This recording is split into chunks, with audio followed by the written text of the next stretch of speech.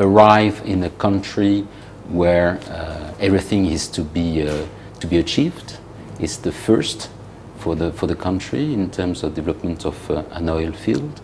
And it's extremely, I would say, uh, demanding for all parties, all stakeholders, to build the foundation of uh, an industry. So uh, I, am very, very pleased to, to be part of this adventure. And uh, I was uh, very, very impressed by, uh, by the country and uh, I would say the dedication of the people to, to try to, to get this project out. first of all, for Tilenga, what's the progress on, on the project? And then could you be very specific when you say summer? I mean, summer is a, is a holiday already, so there are so many. What timelines, what specific date on which we can come back and pin you that, well, you promised this and it didn't happen? Okay.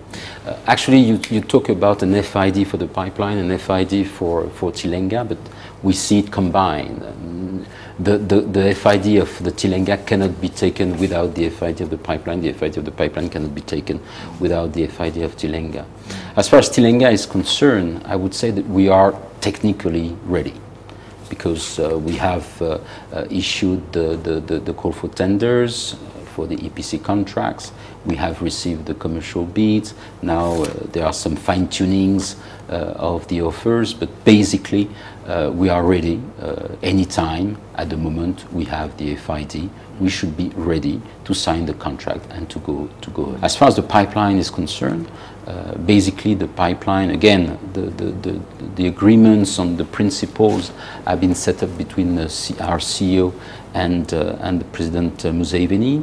Uh, there was clear, very clear statement as far as the refinery is concerned uh, on the coexistence of the pipeline and the refinery.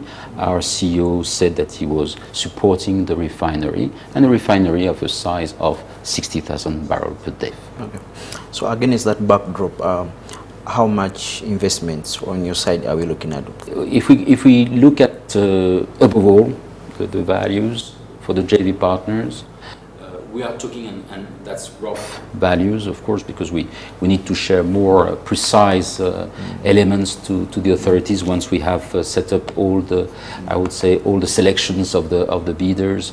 But we are talking about 4.5 billion US dollar for Tilenga, approximately 1.5 billion dollar for Kingfisher, so it's six billion dollar for the upstream, upstream. and 3.5 billion dollar for the EACOP pipeline. So we are all together approximately 9.5 billion dollar, close to 10 billion dollar. That's the overall investment for the two upstream projects and for the